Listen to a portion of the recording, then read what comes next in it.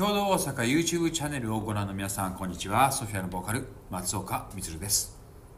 3月の10日大阪城ホールにてソフィアプレミアムシンフォニックナイト in 大阪城ホールと題しまして、えー、ソフィアがライブを行います。このライブはですねなんとソフィアとプラスフルオーケストラ30人余りのフルオーケストラの皆さんとソフィアの数々の名曲たちをまたフルオーケストラアレンジをしたものをですね、えー、ライブメニューとして、えー、お届けする。たった一夜限りのスペシャルな本当に贅沢なライブとなっております、えー、僕たちソフィアにとってもですねこんなに素晴らしい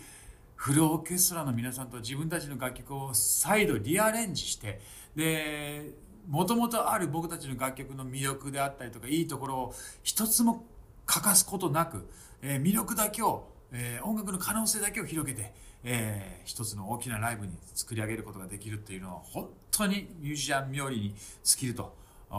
いった内容でございます。えー、オーケストラを普段、えー、コンサートでクラシックコンサートなどでご覧になってたことがない方は特に、えー、このソフィアとフルオーケストラのコラボレーションコラボレーションっていうのも、えー、単純にそのソフィアの楽曲にフルオーケストラが乗っかりましたよっていうライブではなくて1曲ずつもう一度再編集再構築しながらクラシックアレンジを含みながらまた作り出したんです。でそれで組み込んだこの、えー、特別なメニューなのでぜひ、えー、見ていただきたい。聞いていただきたいなと思っております。で、それから普段僕たちのライブはですね、基本的には未就学児童が、えー、入場できないことになっておりますが、今回は皆さん一席一席が椅子に座ってのご鑑賞ができるようになっております。なのでですね、小さなお子さんも連れてきて、えー、くださっても結構ですし、えー、ちょっと高齢になってしまったけれども、えー、コンサートへ行ってみたいなというお父さんお母さん、えー、とにかく皆さんの大切な人と一緒に、えー、このライブ来場していただけるとすごく嬉しいなと思います。僕たちにとっても本当に特別なようになります。この地元関西僕たちにとっては